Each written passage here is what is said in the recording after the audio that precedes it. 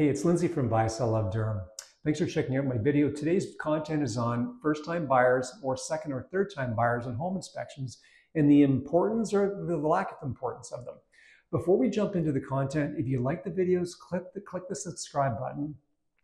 Uh, it's critically important for me to be able to deliver great content, and I do it every week. So if you click the subscribe button, you'll be able to see them and not miss them.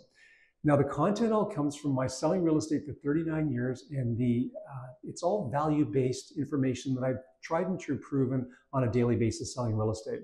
So, part one of the home inspection dealing with inside the house.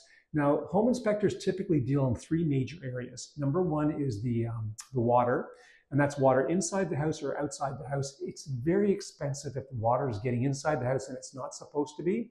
Number two is electrical and determining whether it's aluminum or copper wiring. And number three is HVAC, central air and heating system. What they'll do is they'll also give you some timelines on how long these things are going to last. So let's jump into straight into number one, which is HVAC. So what they'll do is they'll partially disassemble the, um, the furnace and look at the heat exchanger and they'll see if make sure it's not cracked, which is probably the number one reason they have to be replaced. And they'll give you some feedback on how long they believe it's going to last. Number two is electrical. The house is under 20 years old. You would think that you should have no issues with electrical. However, if the homeowner decided to do the basement themselves and wire it themselves, there could be risk at some safety issues. So that's what they're going to determine whether or not there's any safety issues. Number three is foundation.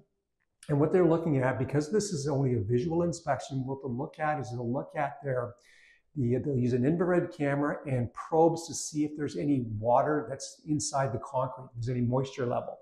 Uh, next one, number four, is insulation. Very simple. They'll just do a visual check, see how much insulation is in there, whether it meets code, whether it needs more insulation.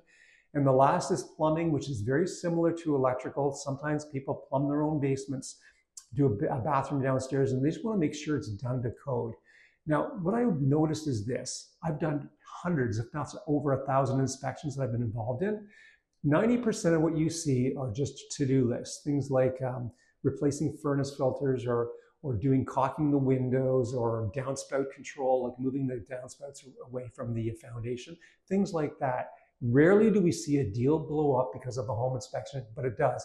In part two, what I'm going to do is describe exactly what happened in the past week with a septic inspection. If you've got any questions, just uh, shoot me a message in the comment section on YouTube, or you can catch me on any of my social media platforms, and I'll look forward to see you on part two of the home inspection series.